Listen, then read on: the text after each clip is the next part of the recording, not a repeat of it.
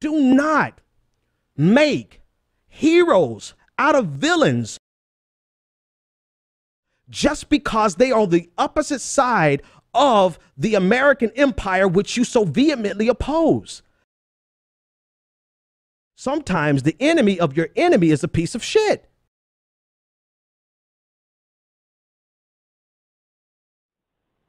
Hey Ben, it's uh, Jared from Downingtown, PA. Hey, Jared, how's it going, man?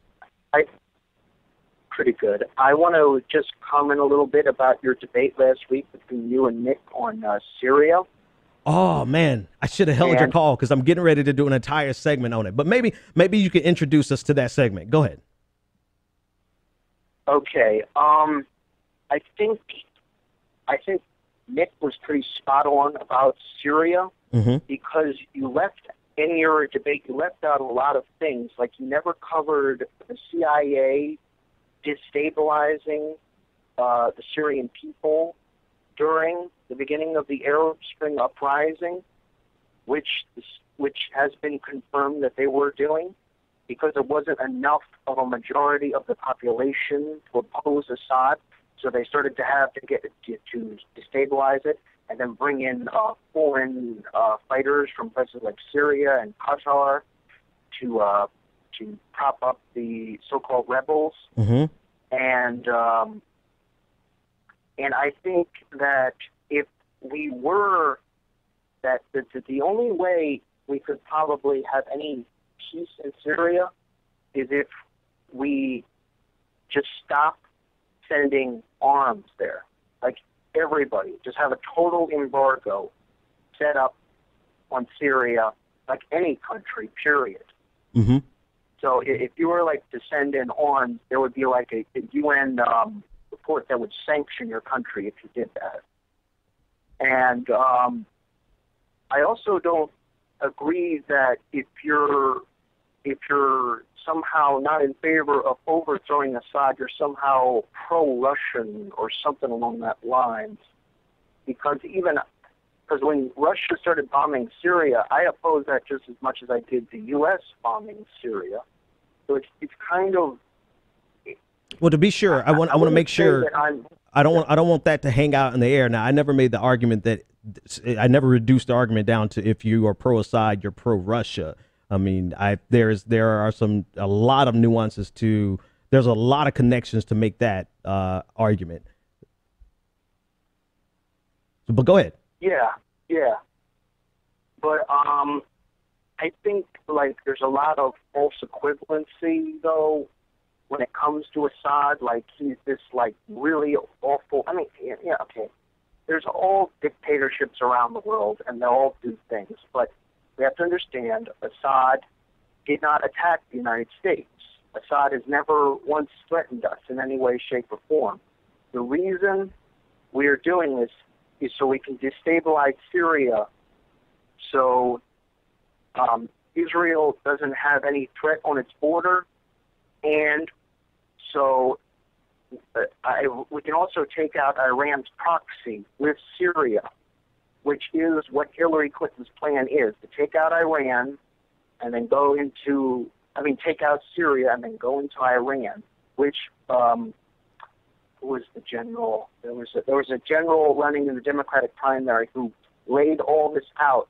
That after 9/11, we were going to invade like uh, a couple dozen countries, and we've already invaded like uh, let's see, we took out Libya, we took out Iraq, we took we're trying to take out Syria, we Mhm. took out Yemen, and uh, so yeah, the, the whole plan is to take out Syria and then go into Iraq, which is what Hillary is going to do as president. I can almost, I can almost guarantee you that's what she's going to do. That Just she's like gonna go into Ukraine, Iran. where she's yes, and in in Ukraine as well, where she is funding the uh, neo-Nazi, neo-fascists there, so we can have a, another.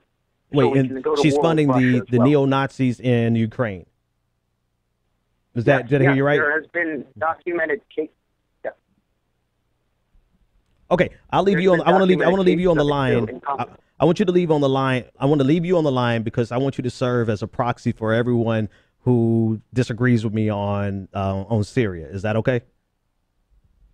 Okay. All right. Um, let me just do one thing. Okay, so let's start at the beginning. One, let me make let me make it clear to my audience and to everyone. Um, when I'm for something, I, I don't equivocate. I come out for it. I'm like, this is what I believe in. This is what it should be. Not once have I ever said we should intervene in in uh, in in Syria. Now you go back and look at the tapes. What I will do is I will play the hell out of a devil's advocate. I will argue, especially when I see flaws in arguments that are being made by people I like and people I respect. I will argue the hell out of the other side just to just to expose those flaws. But not once have I said that we should institute a no-fly zone or that w- that I'm in favor of instituting a no-fly zone or that I'm in favor of American interventionism. Um, what I have said is that unless America intervenes on that level, I there is really no tilting of the power structure there right now, except for uh, the balance of power, the the the the, the stalemate except for what you just presented and what the Green Party presents and what Nick mentioned, which is ostensibly to um, actually, let me take ostensibly out. Your suggestion is to dry up the arms. My argument about drying up the arms is still the same. We can't, one, we cannot enforce an arms embargo on Syria without force. America, I mean, just the idea of blocking any other nation from sending arms to that region is going to require interventionism. So it's like you take one interventionism off the table in favor of another one. There's there. I mean, how would we stop? How will we stop some other actor from going in and supplying arms because there is a demand for arms? And if there's one market we all should be able to agree will be served in this global world, I just say in the world, it's the arms market. Like that's a supply that will always be met. And I just don't reasonably see how simply saying to dry up the arms would actually be accomplished without some huge intervention um, by the UN or by America. But it's got to be enforced, and you cannot enforce something like that without force itself. So to me, that's that's kind of like that. That's really not a solution. It sounds good. It's the more, and I've I said this so many times. It's the moral thing to do. It is the right thing to do to stop sending arms to the entire region for the love of God. But that is not the solution to the question that's at hand. How do you end the war in Syria? It, that that that is the long term solution of how do you end wars in general. but that's not the immediate solution. And uh, so before I go forward, I want you to respond to that. Respond to that on behalf of everyone who um, who disagrees with me. Well, the U.S. doesn't want to end the war in Syria. That implies we do. I mean, we don't want to overthrow Assad, but at the same time, we want to keep ISIS in check so we can, you know, just have it like as a little wind-up doll. So every time, you know, it looks like ISIS is being defeated, they can just wind it up again and then just have it go out and in, uh, unleash it in Lib- Libya or Afghanistan or Yemen or something like that. Uh, I, I don't know where you're getting the idea that the U.S. wants to stop any of this stuff. The U.S. is the one who started all this. Okay, I so here's my other here. Let me jump in there because here's where I totally disagree with uh, with all of you.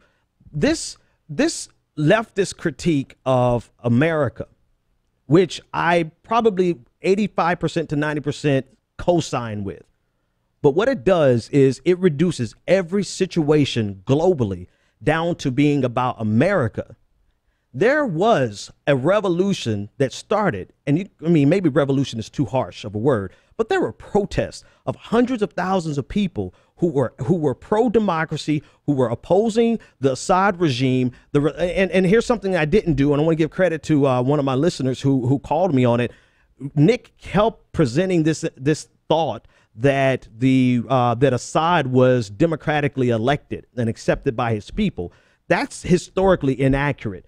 Assad, first of all, he received the, the regime from his father, who obtained it through a military coup. And from 1971 to 2000, he served as the president of Syria through brute force and then handed it down to his son.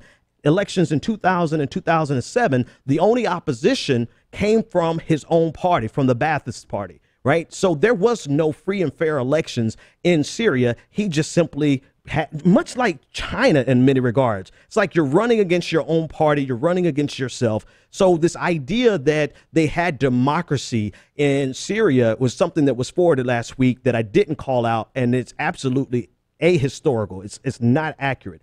But but that's that's kind of like a, a finer detail. But we reduce we reduce this entire conflict in Syria to being about America when in actuality there are people over there who rebelled on their own, on their own accord, on their own wishes because they wanted something different. They saw what happened in Tunisia, and this is going to be a horrible use of words, but it spread like wildfire through the region and the Arab Spring, people saw that. And by the time it got to Syria, Assad said, hell no, and he crushed it. But and actually let me let me choose my words better. Before he crushed it, he he brutally tried to crush it. And by his overreaction, by his his his his it's just overwhelming use of force against protesters, that fueled the revolution even more. And then he crushed it with like with with troops, with the you know, it really escalated. It started in Syria. It escalated by Syria. Now, is America clean in this? No, America's never clean in anything. Let's be let's be sure about that, right? Yes, there were some operatives on the ground involved, but this started. There are people who are there still who are standing on the original cause of the rebellion back in the Arab Spring. This does not mean that the rebel forces that are fighting are all pro democracy. Some of the rebel forces that are fighting are just as nefarious as the Assad regime, which is why America hasn't found any rebels that we can, you know, comfortably give, you know, supply to the point where we help them win, right? Because there is it's really become a cluster F of competing forces there.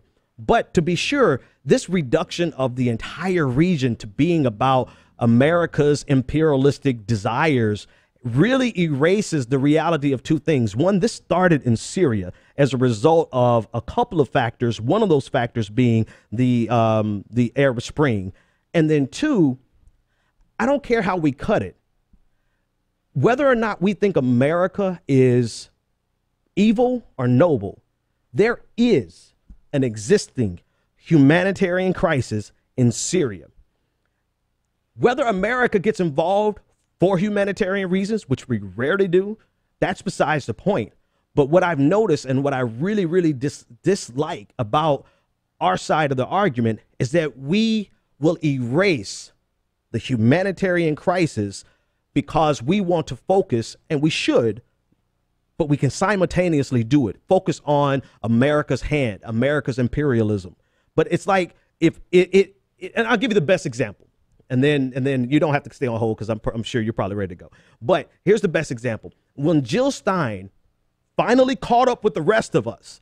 I'm sorry, Jill, but you're a year late uh, on the pipelines, right? The competing pipelines, the Russian pipeline and the Qatar pipeline, both uh, uh, designed to go through Syria. Assad said no to the one from that was U.S. backed from 2009, um, and they uh, he actually co-signed with the one from Russia. I get it, I get it, right? It's, it's like, oh, this is the explanation. This is this is how we understand what's happening in Syria. No, one, why didn't you know about this a year and a half or two years ago, three years ago? To, you know, why are you just now getting this information? And then two, why do we always reduce international relations down to American imperialism. And to do that, we do it by erasing a lot of things. We erase the people who rebelled. We even erase the fact that they have the right to do that, right? Shit, here we go. All right, I'm going to finish this out because I want to talk about other stuff. I'm tired of talking about Syria, not for real. We I have seen I have seen people who are opposed to the uh, to the Saudi to Saudi Arabia's activity and war in Yemen at the invitation of the Yemeni government to suppress the Houthi rebels. I've seen people who oppose that regime, that government, that invited government in, turn around and use the fact that Russia has been invited in as a justification for what's happening in Syria. In other words, I've seen people say, oh, well, Syria, you know, Russia is there by permission, so they're there legally. Flip the conversation and let's go a little further south. And they say, oh, well, you know, what Saudi Arabia is doing in Yemen is an atrocity. Yeah, but the Yemeni government invited Saudi Arabia there to participate in their quote unquote civil war. So it's like, are you going to at least be consistent with your argument? Because once you once you are inconsistent with your argument, it you're erasing things to fit your argument. So if you if if if you're okay, if you're okay with intervention because a government invited you there, then why are you not okay with the intervention that's happening in Yemen? I'm not okay with either one of them. That's the first thing we erase. Then we erase the fact that they have that people have the right to rebel, right? Here in the United States, progressives, leftists, Marxists, socialists, all of us are waiting for the overthrow of capitalism so that we can take over for socialism. But then we're going to say that the people of Syria who wanted pro democracy had no legal right to rebel? What the entire hell? What? It doesn't work like that. You. Are you reserving the right to rebel to be only if it's rebelling against America? So you erase you you erase the you you switch your argument. And I'm not I don't know who the you is. I'm just saying you in general. They. Let me say they, right? So it's no not so personal. They they switch their argument and say that oh it's it's fine for Russia to be there because Russia was invited, but it's horrible that Saudi Arabia is in Yemen, even though Yemen the Yemeni government invited Saudi Arabia there. Then two, they erase the very essence of rebellion against a brutal dictatorial regime. And they erase it by changing history, Nick. but anyway, I leave Nick alone because he's not here to argue in his very effective way. Nick is a brilliant uh, debater and has really great arguments. I'll leave Nick alone. Nick, we come on and discuss this a little more because he's not the only one. I've seen this argument so many places that that we erase the, the reality that Assad is a piece of shit. Let's let's let's not let's not erase that. Do not, oh my God, do not make heroes out of villains just because they are the opposite side of the American empire, which you so vehemently oppose. Sometimes, somebody tweeted me, sometimes the enemy of your enemy is a piece of shit. Assad is that. So all of this, all these ruminations to try to make Assad to be okay, if for no other reason that he's the legal authority, then what about the legal authority in the United States? What about the legal authority of the of the of the structure of the infrastructure of the institutions to rule America? The very institutions that we oppose on so many levels. Some of you oppose a lot more than I do, but I oppose them as well. If you are planning and hoping for a proletariat revolt here in the United States, how in the hell are you going to erase the Syrian people's right to revolt over there just because their uh, revolution over there has fingerprints of American imperialism? Which goes to the other thing. I'm just I'm knee deep in it, so whatever. Let me just go all the way and get get it all out. Do you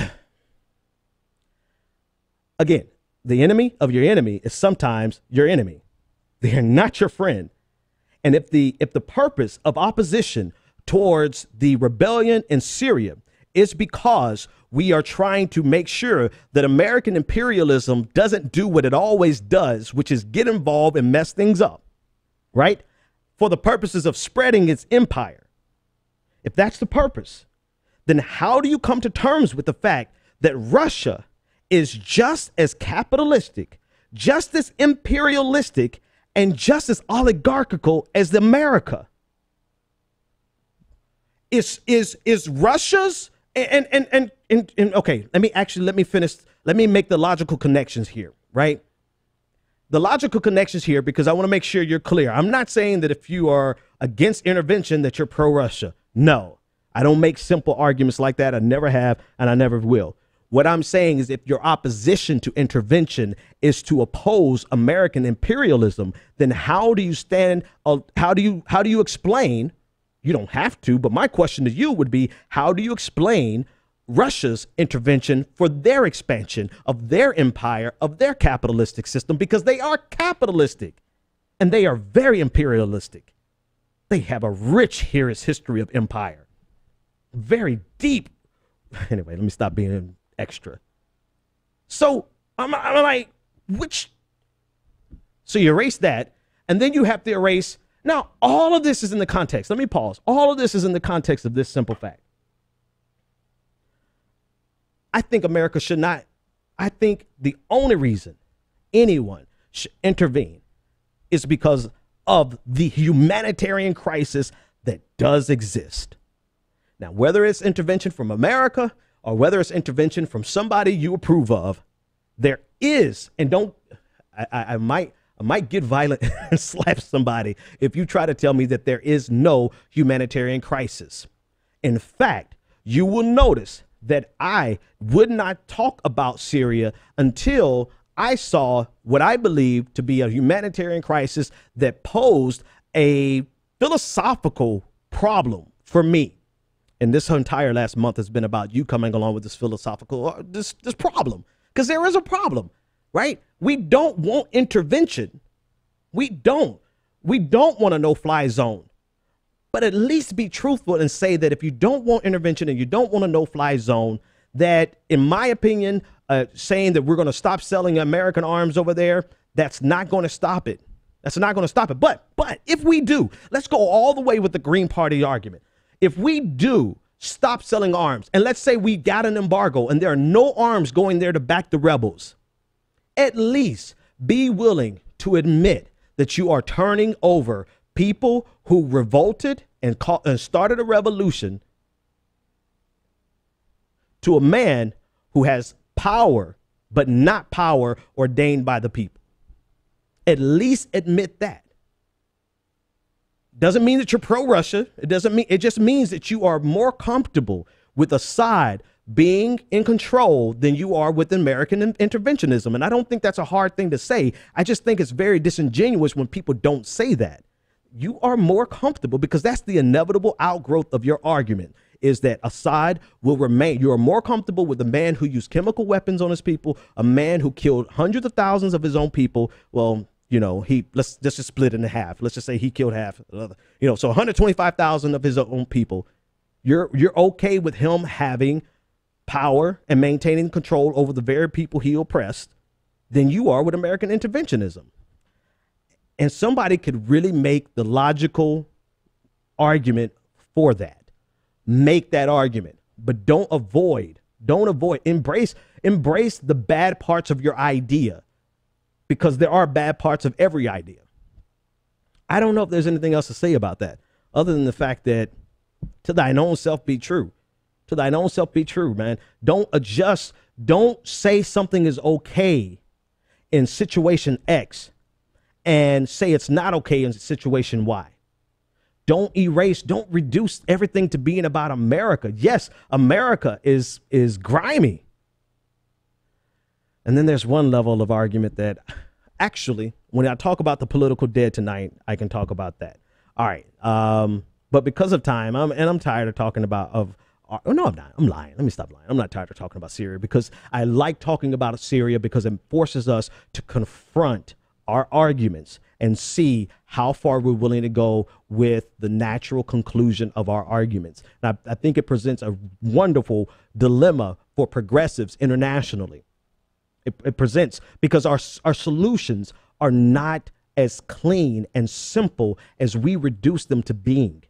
The solution in Syria, I'm sorry, Jill Stein, is not as simple as stop uh, as an embargo on arms, because you cannot you cannot institute an embargo on arms without another level of intervention. And if your purpose is to stop intervention, and the expansion of American uh, em- empire. Blah blah blah blah.